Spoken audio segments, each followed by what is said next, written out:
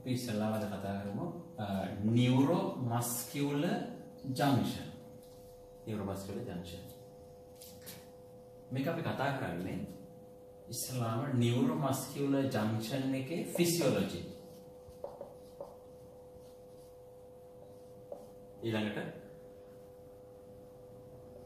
drugs acting on the physiology. neuromuscular junction drugs acting on the neuromuscular junction. මේ physiology සහ drugs acting on the neuromuscular junction pharmacology අපි දැනගන්නේ විශේෂ හේතුවකට. ඒ තමයි මේ දෙක part 1B එක්සෑම් එක සඳහා ප්‍රයෝජනවත් වෙනවා. ඇනස්තීසියා part 1B එක්සෑම් එකට. එහෙම නැත්නම් primary FRCA සඳහා ෆයිනල් FRCA වලට යන විට ෆයිනල් FRCA සඳහා වුණා වෙනවා. මෙන්න මේ ඩ්‍රග්ස් කොහොමද? ස්පෙෂල් සිටුේෂන්ස් වලදී යූස් කරන්නේ. neuromuscular neuromuscular blocking agents in special situations. මේක උමනා කරනවා ෆයිනල් FRCA සඳහා. උදාහරණයක් විදිහට කොහොමද neuromuscular blocking agents අපි පාවිච්චි කරන්නේ? Uh, myasthenia gravis Eden Lambert syndrome and paraplegic patients. Here examples given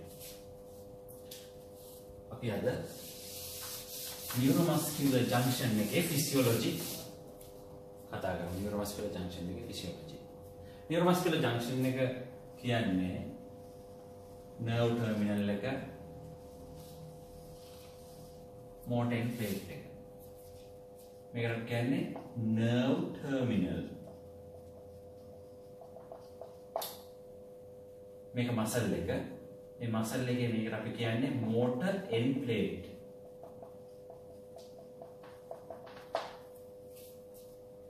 මේකට කියන්නේ cleft එක කියලා. Junctional cleft කියලා කියනවා. මේක සාක්කො ලෙමා එක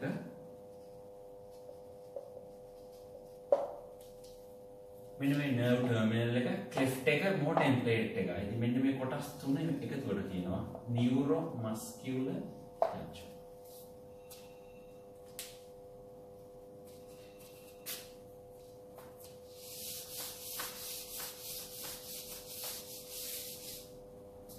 මම සම්පූර්ණ nerve එක අපි පටන් ගන්න ඕනේ දැන් physiology අධ්‍යයනයේදී nerve terminal එකේ කොහොමද වෙන්නේ?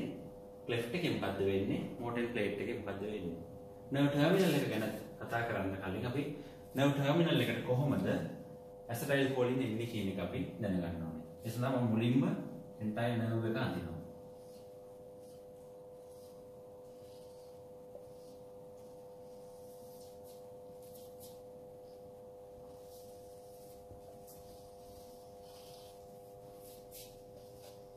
මේ සෙල් බොඩි එක මේ නර්ව් ටර්මිනල් එක මේ ඇක්සන් එක.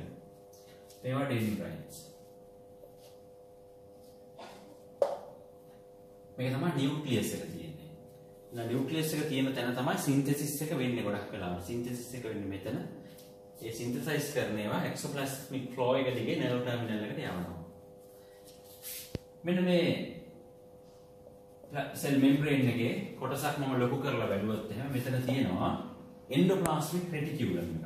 Endoplasmic reticulum.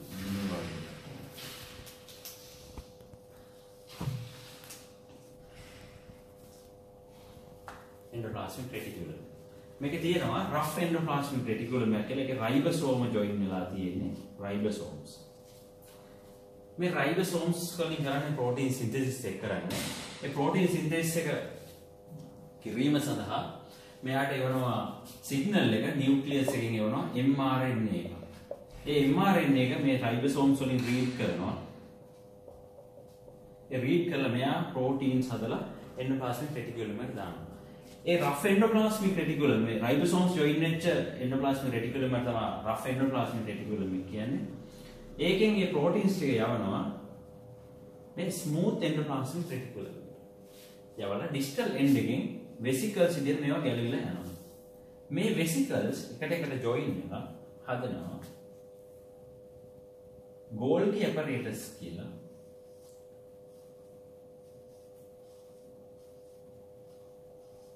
යුනිට් එකක්. ගෝල්ඩි ඇපරේටස් මේ ගෝල්ඩි ඇපරේටස් එකේදී මෙයා හදපු ප්‍රෝටීන්ස් ටික දැන් තියෙන්නේ මෙතන. ඒ ප්‍රෝටීන්ස් පාචනි ප්‍රොසෙස් කරලා ස්පෙෂල් වෙසිකල්ස් විදිහට එළියට දානවා. මෙතන මේ එන්ඩ් එකෙන් ගලවලා මොකද කරේ? මෙතනින් හදුවා ස්පෙෂල් ප්‍රෝටීන්ස් හදලා ඒවා පාර්ශලි ප්‍රොසෙස් කරලා ආපහු වෙසිකල්ස් විදිහට රිලීස් කරනවා. එම්ටි වෙසිකල් දැන් මේ වෙසිකල් එකක් අපි ලොකු කරොත් මේ වෙසිකල් එකක් ටිකක් ලොකු කරලා ඉඳලා මේ වෙසිකල් එකේ තියෙනවා දැක ගන්න පුළුවන් මේ කලින් හදපු ස්පෙෂල් ප්‍රෝටීන්ස් එකක් තියෙනවා මෙතන. සයිනැප්සින් තව ප්‍රෝටීන් එකක් මෙතන තියෙනවා. SNAP 25 synaptosomal associated protein kilodalton 25 තව මෙතන මොලිකියුල් එකක් තියෙනවා? Synaptobrevin තවත් ප්‍රෝටීන් එකක් මේ හැරේ තියෙනවා.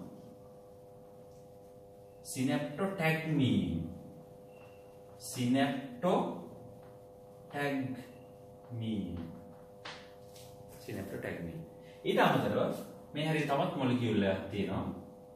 Magnesium dependent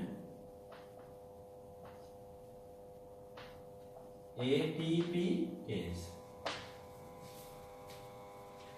මේ තමයි ඇසරයිල් කෝලින් containing empty vesicle. ඒ කියන්නේ ඇසරයිල් කෝලින් ඇතුළට දාන්න කලින් තියෙන empty vesicle. These vesicles are formed in this cell body cell body එකේ හදලා මේක exoplasmic flow එක දිගේ යවනවා nerve terminal එකට එතකොට MCQ එකක් ඇහුවොත් එහෙම acetyl choline is manufactured in the cell body කිව්වොත් false. මොකද empty vesicles විතරයි හදන්නේ මෙතන empty vesicles හදලා යවනවා nerve terminal එකට.